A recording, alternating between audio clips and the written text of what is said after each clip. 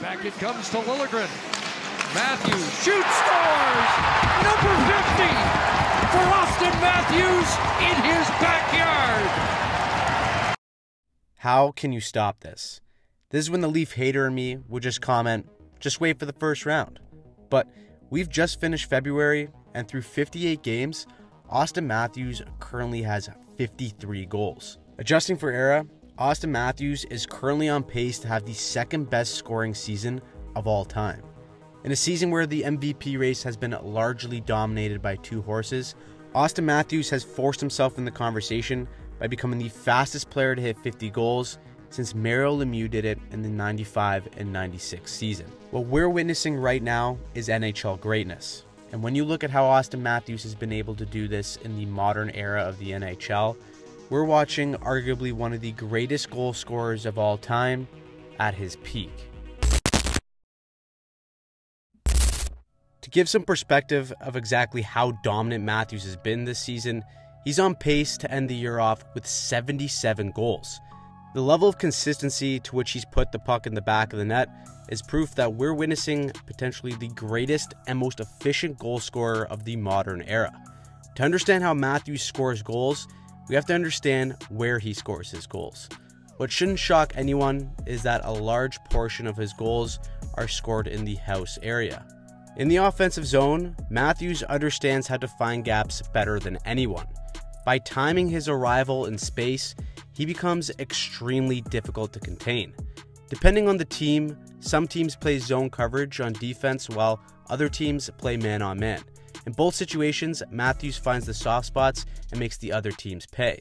Here against Columbus, the Jackets are playing man on man as the Leafs get into their 2 3 offensive zone structure. Now, typically, Toronto wants their best players with possession up high in the zone so that they can make a play with space. This three player system high near the blue line traditionally does very well against zone coverage. And that's because as teams sit back and try to protect the house, it can open up space for offensive players to create offense up high. But in a man on man defense, that space is taken away from you if played right. So with Marner swinging up high, Matthews is going to climb up as well. But instead of continuing his path to the blue line, he turns away to lose his check. The Columbus player gets overly aggressive, assuming Matthews would go up high with him as well. Marner makes a great read and an even better pass to Matthews, who all of a sudden has space to use his wrister, and it's in the back of the net. Even when teams are using a zone coverage, the Leafs use a lot of motion up high, and Matthews attacks the gaps in coverage.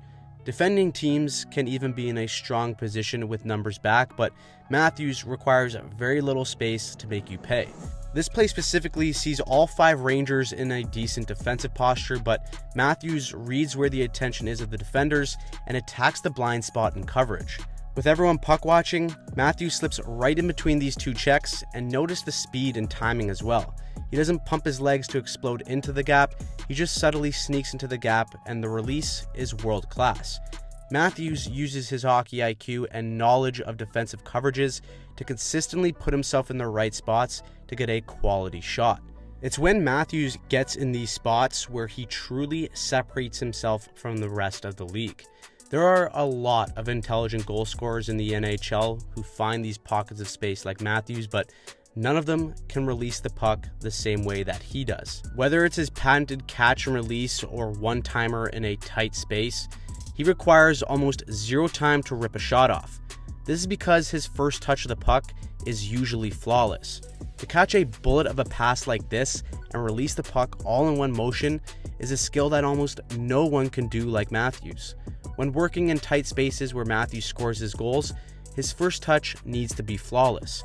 Sometimes it's as simple as a clean one timer, but other times it requires a bit more finesse. More than any other goal scorer, Matthews frequently takes pucks from an awkward area and puts it in a threatening position. Multiple times this year, we've seen Matthews take a puck from behind his back, put it through his legs, and place it in a position for him to make a play. The guy flat out has a magnet stick, and anytime the puck is in his vicinity, he somehow finds a way to put it on his blade for him to shoot. You combine this kind of precise touch with the patience, and you get goals like this one against the Islanders. So many players in the league would get wide eyed when they see a loose puck like this in the crease, but not Matthews. Instead of trying to force this puck, his first touch is to pull the puck tight into his body and then instantly over to his backhand. This kind of finesse and patience with the puck is so hard to have, and it's why no one is scoring at the rate that Matthews is. Even when he's outside of the dangerous areas of the ice, his first touch and awareness to attack makes him a threat from anywhere on the ice. This puck here is behind the net with a defender in pursuit, but a quick hook of the puck over to his backhand allows him to strike at the net and catch everyone by surprise. Even from along the wall, where goals shouldn't go in, Matthews is still a threat. As a goal scorer, he's aware of when goalies may be cheating off of their post or are simply not expecting a low and hard shot. And this type of shot is an intelligent one too even if the goalie does anticipate it and make the save, it likely creates a rebound for a Toronto player to bang one in. He scored his 50th of the season just like this, and he will make you pay if you don't fully respect his shot. Now, what's even more impressive about Matthews' game is that he doesn't cheat for offense. He leads all fours in the NHL in stick checks, he's 5th in block shots, and 15th in block passes. Whether he's using his stick to strip pucks or his big 6'3 frame to lean into guys and win battles along the wall, he's constantly turning pucks into possession for Toronto. Now, a big reason why Matthews has been able to score at this incredible pace is also because of his partner in crime in Mitch Marner. Behind every great goal scorer is a great playmaker. We've seen just how great Matthews is at finding soft spots in coverage, but it's Marner's vision and passing ability that allows Matthews to become the most elite version of himself. A large component to Matthews' ability to scoring goals is timing. As a playmaker, Marner's number one job is to complement this timing. Whether it's having the patience of holding onto the puck and allowing Matthews to get into his spot, or quickly getting him the puck before defenders can read the play, Marner has been instrumental to getting the puck to Matthews at the right time.